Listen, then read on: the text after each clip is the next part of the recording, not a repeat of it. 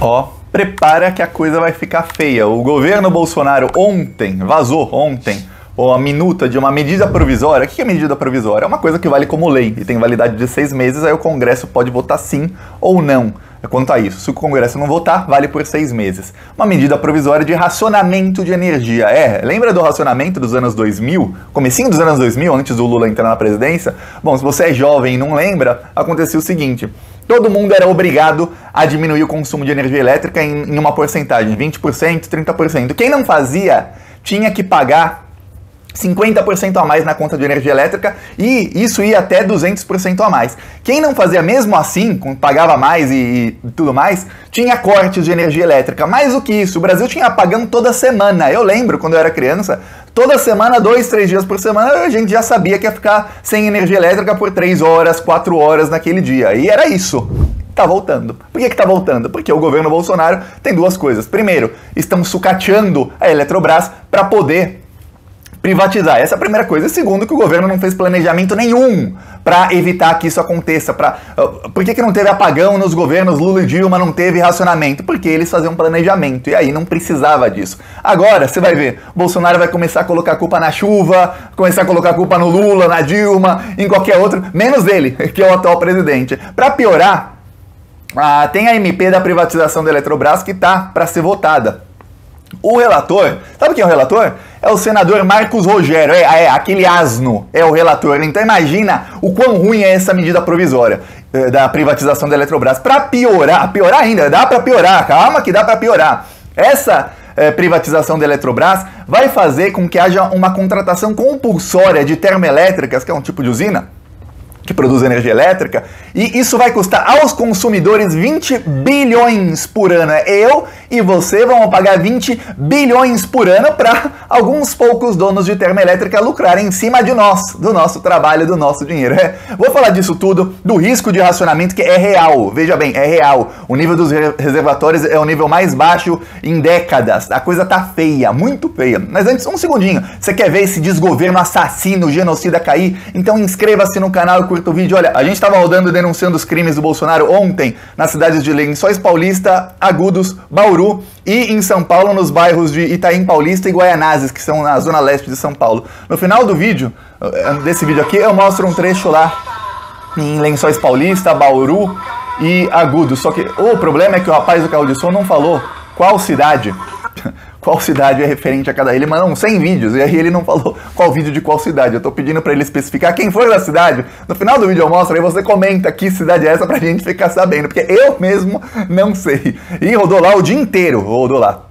Quem quiser ajudar as ações do Plantão Brasil, embaixo do vídeo tem um botão Seja Membro, ou no primeiro comentário tem o Pix, o PicPay. Clicando em Seja Membro, ó, 3 reais por mês, você já está ajudando a gente a ampliar nossas ações. Estamos rodando em no mínimo 10 cidades por semana. E se não, tem o Pix, tem o PicPay e tem as minhas outras redes. Mas inscreva-se no canal que você já está ajudando muito. Agora, vamos falar sobre racionamento de energia elétrica, medida provisória, tudo mais. Olha só, Vários especialistas é, já criticaram a medida provisória de racionamento de energia. O que, que essa medida provisória prevê? Prevê o racionamento compulsório de energia. Quer dizer, se os níveis dos reservatórios continuarem diminuindo, e tudo indica que vão continuar diminuindo porque não tem previsão de chuva, o que vai acontecer é que, em algum momento, eles já estão diminuindo a, a vazão das usinas hidrelétricas. Quer dizer, estão liberando menos água. Isso faz com que os rios tenham menos água, locais que precisam de turismo ecológico vão ficar é, vão ser prejudicados, é, pescadores vão ser prejudicados, um monte de gente já está sendo prejudicado e vai ser ainda mais, porque vão liberar menos, menos, menos água porque tem que gerar energia elétrica. E, tá, aí acontece isso tudo, o governo, nessa medida provisória, também vai estabelecer que vai contratar usinas termoelétricas que ficam no Nordeste do Brasil, no Norte e Nordeste do Brasil. Isso custa caro, custa muito caro para o governo contratar usinas termoelétricas, mas, mas para o governo não tem problema, sabe por quê? Porque quem paga sou eu, quem paga é você, somos nós otários, vai vir, virar na conta de luz. Muita gente fala, minha bandeira jamais será vermelha. A bandeira de energia elétrica já está vermelha há um tempão. Há um tempão. A sua bandeira é vermelha. Porque a bandeira da energia elétrica é vermelha e a coisa vai piorar. E, e tudo isso é, é repassado para o consumidor. Mas não pense que o governo federal perde um centavo. Não pense que a Eletrobras perde um centavo. Não. Quem perde somos nós. Nós vamos pagar na conta de luz. E aí Quando a coisa ficar feia, aí prepara que daqui alguns poucos meses ficará feia. O nível do reservatório, eu, eu vou vendo, vai no site da ONS. Vai sempre lá, da, da ONS, e põe ONS Energia Elétrica. Aí tem lá o nível dos reservatórios. Você vai lá hoje, vai lá daqui uma semana, você vai ver o nível baixando. É isso, tá baixando. Aí, o que acontece? Em algum momento o governo vai ter que falar, ó, temos que diminuir o consumo de energia elétrica. Para diminuir o consumo, tem uma coisa. A, a, a, sua casa, a minha casa, ou seja, a, a área residencial, as residências, são, são, equivalem a pouco da energia elétrica gasta. Quem gasta mais energia elétrica é a indústria, que, que precisa de muita energia elétrica. Tá, Aí o que acontece? É, é, a indústria vai ter que produzir menos. Com a indústria produzindo menos, sabe o que acontece? Tem um impacto muito forte no PIB. Para você ter ideia, em 2001, quando teve racionamento de energia elétrica, isso custou, não sou eu dizendo, são os especialistas, isso custou 3, 3 pontos no PIB do Brasil. 3% do PIB caiu, caíram por causa disso. É, isso também custou aos cofres públicos 45 bilhões de reais. Naquela época, naquela época em que o, em que o salário mínimo era 115 reais, 120 reais, 45 bilhões de reais. Isso tudo, sabe quem pagou? Nós pagamos nos anos seguintes, porque foram aumentos sucessivos na conta de energia elétrica. E eu lembro, culpavam o PT, tá aumentando aqui a energia elétrica, o Lula ladrão tá roubando nosso dinheiro. Não, a gente estava pagando a a, desculpa o termo, a cagada que fez o Fernando Henrique Cardoso, que não planejou absolutamente nada. Aí, os governos do PT investiram, investiram, investiram e não tivemos problemas. Só que aí teve um problema. O governo do, os governos do PT investiram em muito em hidrelétricas. Ok, não tem problema nenhum isso. O problema é que entrou o Bolsonaro, o que, que ele começou a fazer? Ele começou a desmatar a Amazônia, começou a fazer queimadas na Amazônia. Alguém lembra dessa foto aqui? Vamos mostrar uma foto? Isso aqui era a cidade de São Paulo, meio-dia. Em, em, foi no ano passado, em agosto. Lembra dessa foto? Ou foi, ou foi em. Ou foi em 2019? Meio-dia, tava escura a cidade. Por que, que tava escura? Tava nublado, Thiago? Ia chover? Ia cair um, ia cair um toró? Não!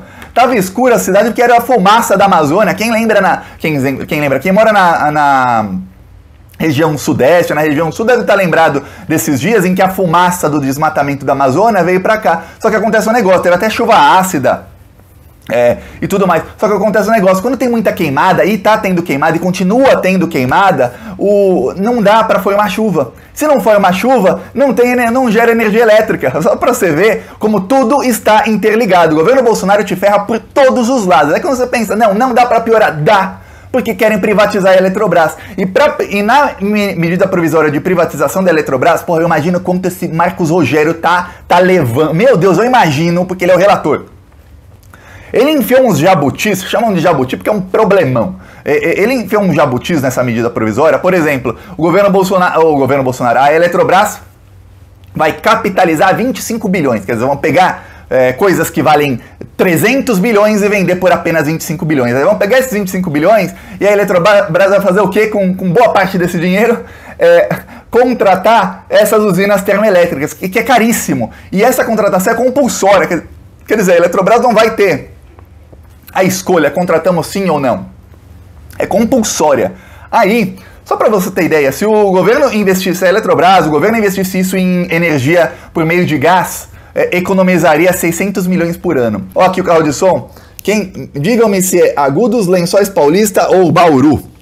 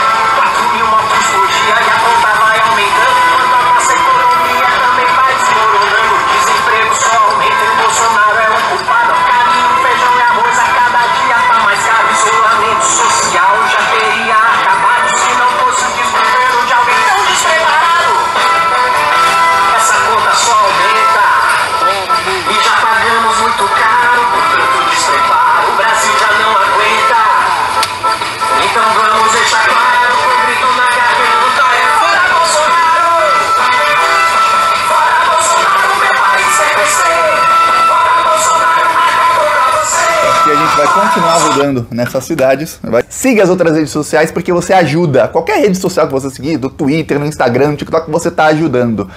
E inscreva-se no canal. Falou!